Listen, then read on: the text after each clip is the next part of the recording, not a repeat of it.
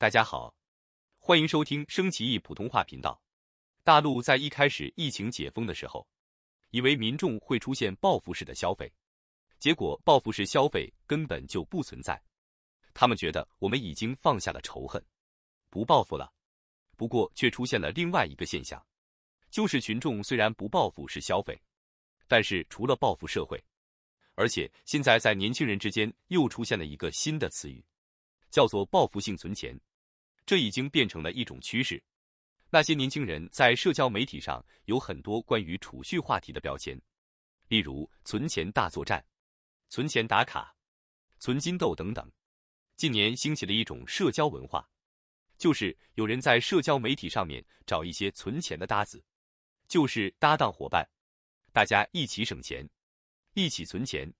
他们在网络上组成了一个储蓄圈，确保成员坚持自己的目标。节约措施包括在社区食堂吃饭，这些食堂的价格相对来说比较便宜，是为老年人而开。而且还有观点认为，年轻人用一种报复性的心态去储蓄。他们认为中国年轻人的信心已经消失殆尽，他们被社会主义的铁拳无情反复的堆打，已经被堆的变成了一块薄铁，本身是一块铁块，结果现在被堆的像金箔一样薄。需要很多年的时间，以前的繁荣景象才能够恢复，因为他们根本看不到看到前景。我今天看到了一则新闻，感到十分震惊，就是小红书在今年要裁员三成，而且他们要把三十二岁的员工给解雇掉，因为觉得他们老了。中国人到了六十五岁才算是长者，但是现在只到了三十二岁就已经被人嫌老，要解雇，找不到工作。那他们能做什么？这个国家还有希望吗？所谓的希望，只是到了三十岁以下。一开始是三十五岁，在大陆三十五岁就已经很难找到工作。那我们这些四十多岁的，岂不是要切腹？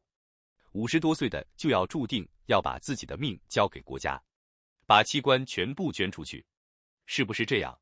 现在这个社会竟然如此没有希望，为什么会这样？这当然是要从清零开始。其实大陆的年轻人真的很惨，因为他们活在谎言之中，他们每天能接触到的都是谎言，其中包括一种说法，就是你现在所有的不幸都是由英美外国势力以及日本人所造成的。甘肃大火是日本人放的，中国的经济不好是因为受到了美国的打压，不让中国发展，不让中国好。那实际上究竟是不是这样？你开着一辆电瓶车上街，被城管扣了起来，罚你的钱，被城管像生鱼似的摔在地上，连小孩也一起摔，是美国人指使他这么干的吗？你的家被人拆迁，你便宜被人逼迁，是美国地产商要来中国买地，是不是川普要过来建川普大厦？当然不是，欺压你们的，搞得你们没饭吃的。搞得你们去到医院的时候要用毕生的积蓄去治一个小病，这是美国人干的吗？其实刚刚相反，美国人出钱出力帮你们建学校、建医院。北京的协和医院是洛克菲勒建的，中日友好医院是由日本出钱兴建的，还有北京地铁，还有上海的虹桥机场，也是由日本人出钱兴建的。中国的年轻人自打一出生就面对一些谎言。这些谎言既不合理又矛盾，但是他们却选择了相信。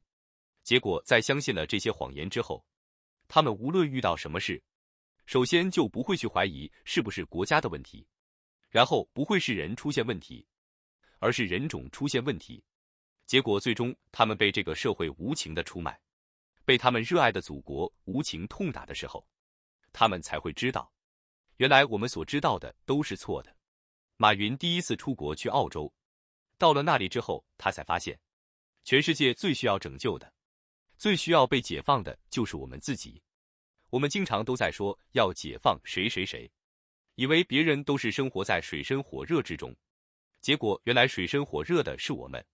插一段广告时间，多谢 Surfshark VPN 支持本台。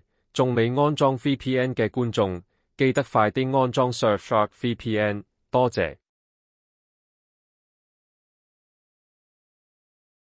当疫情大流行结束，全世界都出现了报复性消费，但是在中国却刚好相反，年轻人开始了报复性存钱，他们会每月设定最高储蓄目标。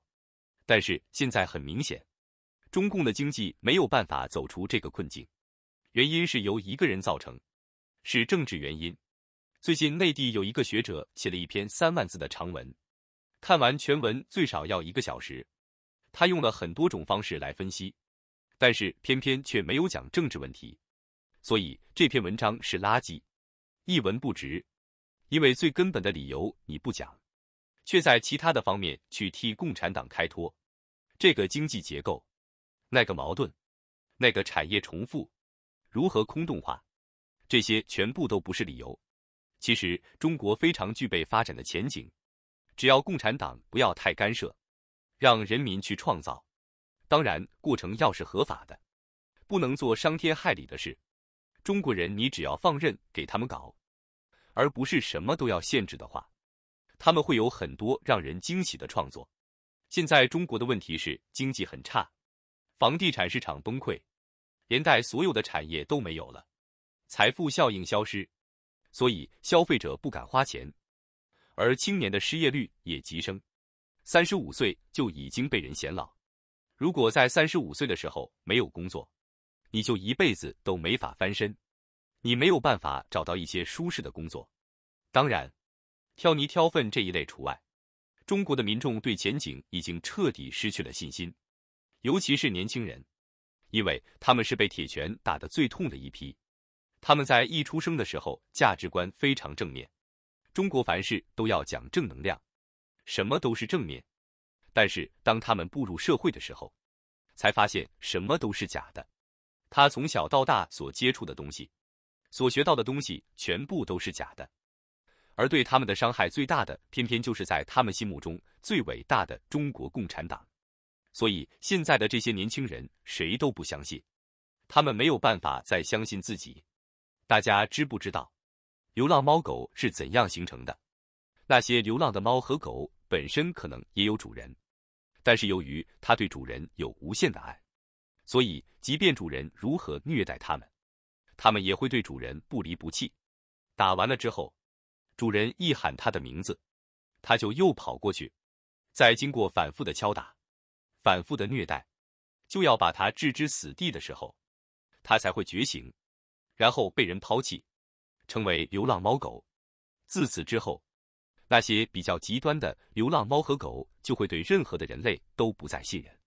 其实现在的中国人，尤其是年轻人，就好像这些流浪的猫狗一样，在最初几个月的时候觉得它可爱，那时候未必会虐待，但是在长大了之后就开始虐待。中国人就类似于那些流浪猫狗的故事一样，所以他们对国家没有信心，对这个政权没有信心，他们只能够开始自救。他们的自救是要努力的保护自己，躺平，不会跟你拼命，因为他们很清楚，就算是拼也没有机会。在大陆，你如果无权无势，不是出身好，不是有背景，你根本没有机会成功。但是现在不是再是大陆人可以创业的时间，因为可以创业的机会已经全部被人垄断了，所以现在报复性存钱已经成为了经济大萧条的其中一环。现在的情况，其实在一九二九年的经济大萧条就已经出现过。人们对前景没有信心，花出去一块钱都会觉得没办法挣回来，所以就疯狂的存钱，疯狂的压缩消费，人们都不愿意去花钱，企业自然就赚不到钱，企业赚不到钱就又要裁人，这是一个恶性循环，而中国就是陷入这个循环。而且规模比当年的美国要更大。美国当年没有那么大的借贷，没有那么大的负债，没有那么重的利息开支。现在据说中国人欠下了超过六百万亿人民币的债务，光是还利息一年就要还三十万亿，那怎么还？根本就没有办法还，只能够以债还债，后果就是一辈子都还不完，一直还到死都没法结束，下一代要继续帮你还。这就是为什么现在没有希望原因。这一节暂时先讲到这里。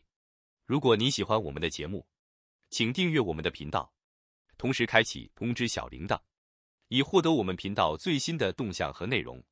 我们诚意邀请经济许可的朋友订阅 Patreon，大家也可以用免费模式支持我们，帮我们欣赏广告。